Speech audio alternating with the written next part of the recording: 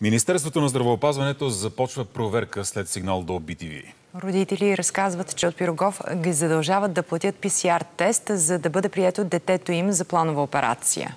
Много нерви, просто много емоции. Те се бяха насъбрали 5 доктора, нали, които откровено си ми се караха.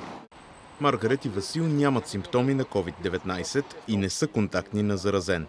За да бъде извършена планова операция на 5-годишният им син обаче, от болницата поставят условие.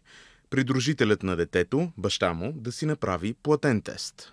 Понеже доктора, директора на болницата на Пирогов е издал заповед, че това трябва да е така. Министерството на здравеопазването вчера там всъщност ми потвърдиха, че абсолютно не е задължително да има тест на придружителя.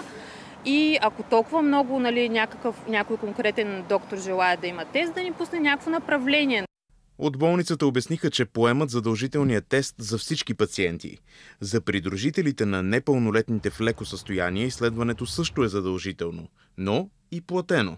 Освен ако няма някаква много ясна аргументация, не виждам оправдание за въвеждането на а, такива тестове и още повече да се плащат от джоба на пациента, така че нека да хората да подават сигнали. За BTV Министерството отговори. Болницата няма как да иска пари от родителите си за PCR-тест, за това започват проверка в лечебното заведение. За BTV новините Димитър Иванов.